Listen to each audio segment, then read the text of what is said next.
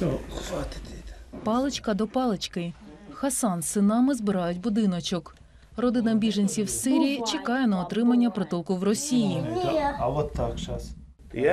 Я не, військова людина, я кухар-кондитер. Це моя справа. Це не моя справа, що там воюють.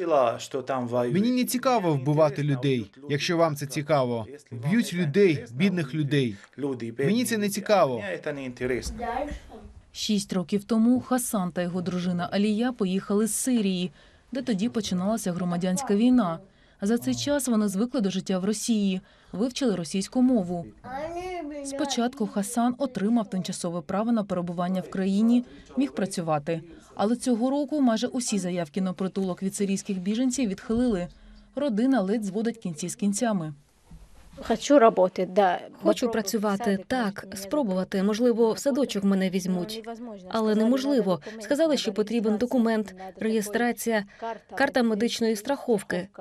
У мене немає такої. Жодних паперів немає. Мені. Немає права на притулок, немає права на роботу. Ані Хасан, ані Алія не можуть працювати легально. Дітям не можна ходити до школи. Російські чиновники кажуть, що родина може повернутися до Сирії. Там, мовляв, нині спокійно. Вони просто... Вони не дають нам документи, тому що бояться, що ми мусульмани. Один раз мені сказали... Якось мене спитали, «Уїжджайте в чому ми не їдемо до Туреччини? мусульмани». Я сказав, Там усі мусульмани». е, Я сказав, мені це не цікаво. Я не інтересую. Бог один в усьому світі. І е, ба, мір. Після запиту до Чевилі Федеральна міграційна служба перевіряє велику кількість відмов у наданні притулку сирійським біженцям. Ті мігранти, яким загрожує висилання назад до Сирії, приходять сюди. Комітет громадянських ініціатив допомагає біженцям, надає юридичну допомогу.